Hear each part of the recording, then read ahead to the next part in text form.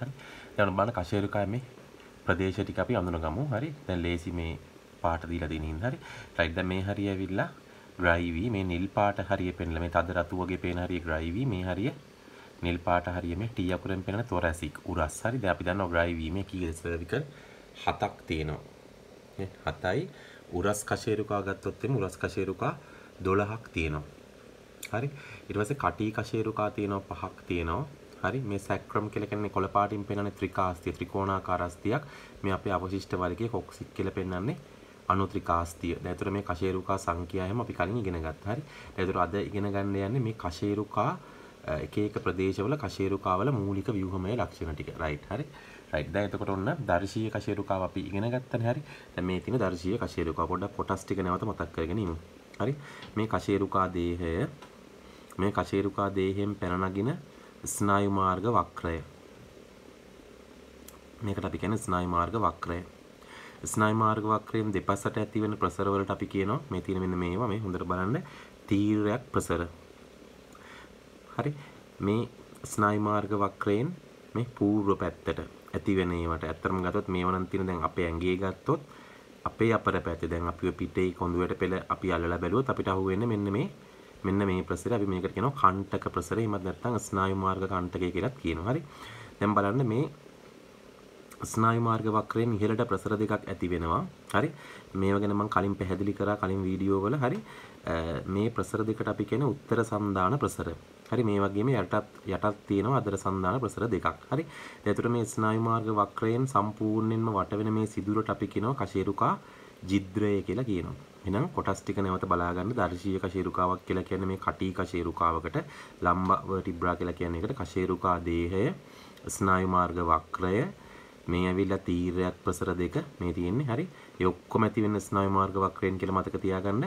උත්තර සන්දාන ප්‍රසර අදර සන්දාන ප්‍රසරක් තියෙනවා විදිහම අපිට පේන්නේ නැහැ. හරි? මේ කණ්ටක ප්‍රසරය. හරි.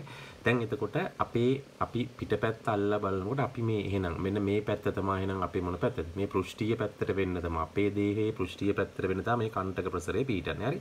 රයිට් දැන් එතකොට එහෙනම් අපි ඉහළින් නම් බලාගෙන එමු මුලින්ම අපි බලන්න යන්නේ එහෙනම් ග්‍රයිවි ප්‍රදේශය. හරි? ග්‍රයිවි ප්‍රදේශයේ කශේරුකා හතකින් හැදෙන බව ඔයාලා හොඳට දන්නවා දැන් හරි? ග්‍රයිවි ප්‍රදේශයේ තියෙනවා ග්‍රයිවි කශේරුකා හතක් තියෙනවා. හරි. දැන් එතකොට ග්‍රයිවී කශේරුකා හතෙන් පළවෙනි ග්‍රයිවී කශේරුකාව අපි අඳුන්වන්නේ මෙන්න මෙයා ඇට්ලස් කියලා අඳුන්වනවා. හරි. ඇට්ලස් කශේරුකාව ගත්තොත් එහෙම මේ බලන්න මේ වලල්ලක් වගේ. හරි. දැන් අපේ හිස් කබලේ මතක ඇති හිස් කබල ගැන දාපු වීඩියෝ එකේ අපර කපාල සන්දානග්‍ර සන්දානය වෙන්නේ මේ ඇට්ලස් කශේරුකාවේ තියෙන මේවට අපි කියන්නේ අවතල සන්දාන මූණත් කියලා. ඇත්තටම මේකේ එතකොට අර අපි දර්ශීය කශේරුකාවත් එක්ක අර දැක්කද වෙනස්කමක් ඔන්න මෙතන තිබ්බ මේ බලන්න මේ උත්තර සන්දාන ප්‍රසර දැන් කවුරු බවට පත් වෙලාද මේ අවතල සන්දාන මූණත් බවට පත් වෙලා මේවා තමයි අපර කපාලාස්තිය මහා ජිද්‍රය දෙපස තියෙන අපර කපාල සන්දානග්‍රත් එක්ක සන්දානය වෙන්නේ. හරි. රයිට්. දැන් බලන්න එතකොට මේ බලන්න මේ. හරි. දැන් දර්ශීය කශේරුකාවට සාපේක්ෂව මේ බලන්න කශේරුකා ජිද්‍රය මොනවා වෙලාද බලන්න මේ විශාල වෙලා. ඔන්න තව වෙනස්කමක්. හරි. තීරයක් ප්‍රසරත් මේ බලන්න මේ ශීන වෙලානේ. දැන් මේක නම් තීරයක් ප්‍රසර දිගටම පේනවා ඔයාලට. හරි. මේකේ තීරයක් ප්‍රසර ශීන වෙලා. හරි. ඒතරේ තී ශීන වෙලා තියෙන තීරයක් ප්‍රසර ඇතුලේ සිදුරුත් තියෙනවා. අපි මේවට කියන්නේ කශේරුක දමනිනාල.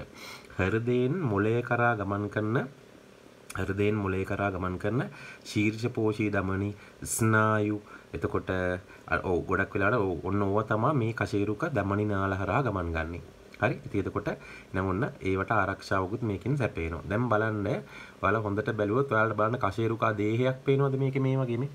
බොඩි එකක් පේනවද? නෑ. ඇයි දැන් බලන්න මේක තමයි අපේ පළවෙනි කශේරුකාවනේ. ග්‍රයිවී ප්‍රදේශයේ පළවෙනි කශේරුකාව. මේකට මහා ලොකු ඇඟේ බරක් වැටෙන්නේ නැහැ. ඒ හින්දා කශේරුකා දේහේ ලොකුවට තිබිලා ඒකෙන් ලොකු මේ බරදරා ගැනීමක් සම්වරණ ක්‍රියාවලියක් මුකුත් වෙන්නේ නැහැ. හින්දා කශේරුකා දේහේ මේක ඇත්තටම ශීන වෙලා ගිහිල්ලා.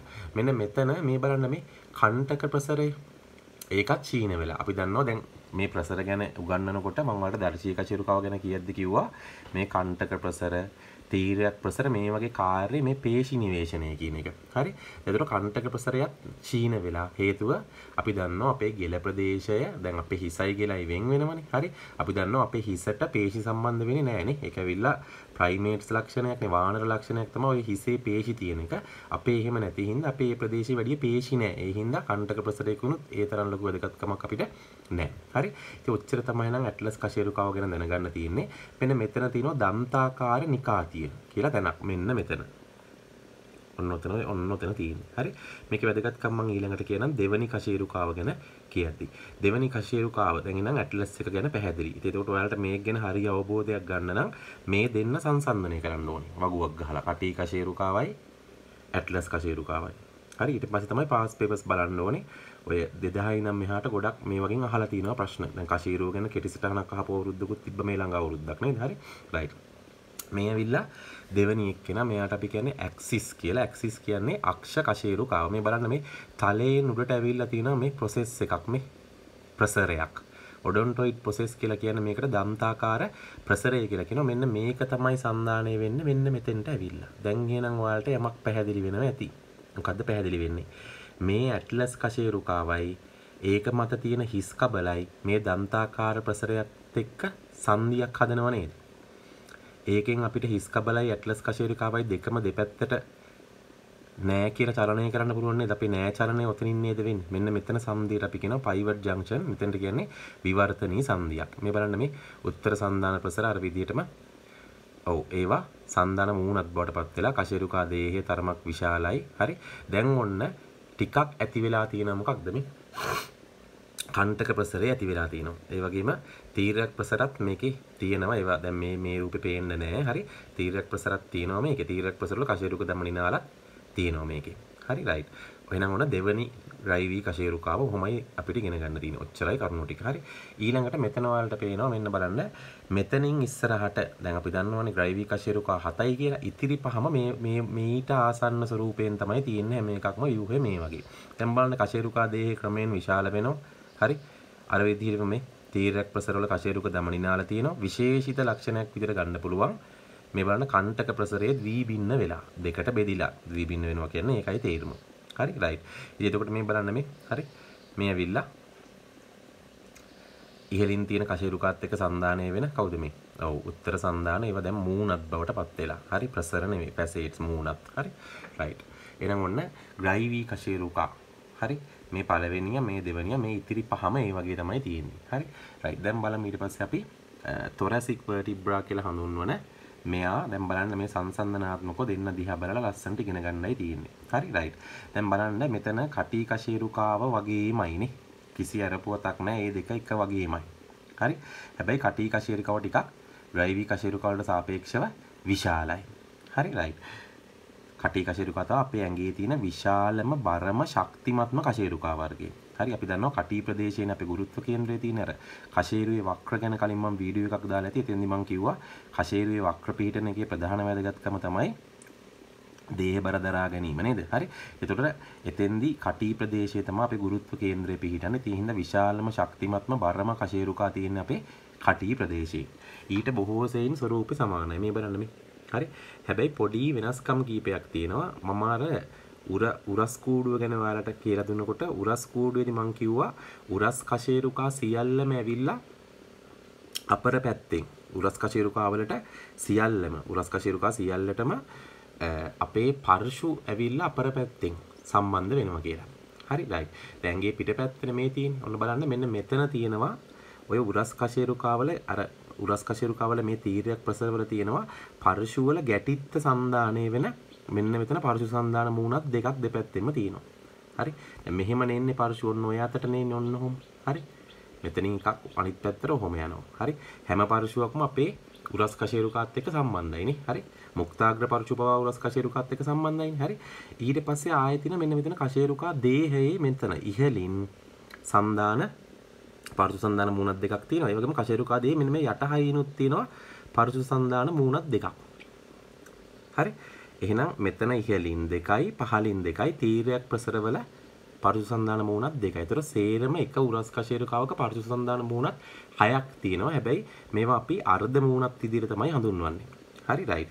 එතකොට මම ඔයාලට පර්ශුවක් සන්දානය වෙන හැටි මීට කලින් කියා දීලා තියෙනවා. හරි රයිට්. එහෙනම් ඔච්චරයි අපිට දැනගන්න තියෙන්නේ ප්‍රධාන කශේරුවේ ප්‍රධාන කශේරුකා වර්ග ගැන. හරි. දැන් ප්‍රධාන කශේරුකා වර්ග සියල්ලම දැන් ඔයාලට තේරෙන්නේ නැති කියලා හිතෙනවා. හරි.